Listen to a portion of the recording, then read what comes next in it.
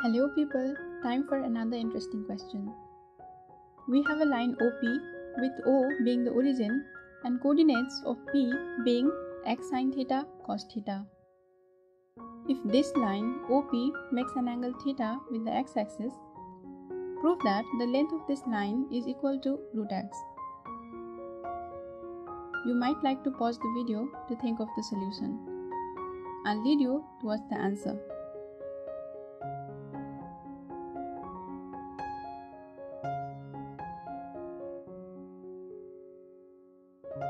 So let's draw a line from point P perpendicular to the x-axis, meeting the x-axis at M. In doing this, we have created a triangle POM. Let's assume the length of line OP to be L for a moment.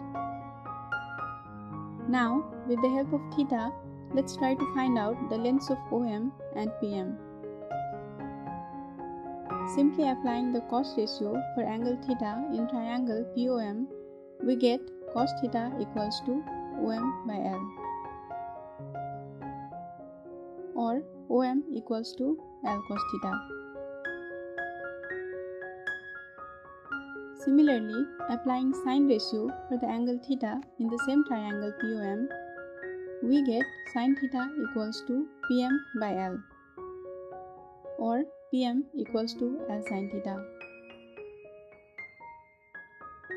Now the coordinates of point P has been given to be x sine theta cos theta.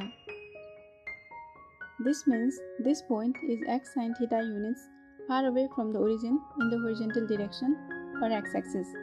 It means OM is equal to x sine theta.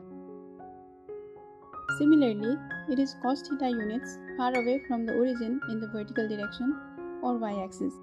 This means Pm is equal to cos theta.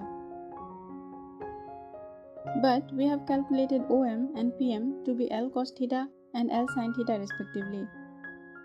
Because both the values of OM and PM has to be true, we will equate these two values of OM and then do the same thing with PM. Let's equate both the values of OM and that gives us x sine theta equals to L cos theta or sine theta by cos theta equals to L by x or tan theta equals to L by x. Let this be equation 1. Now let's equate the two values of Pm. This gives us cos theta equals to L sin theta or sin theta by cos theta equals to 1 by L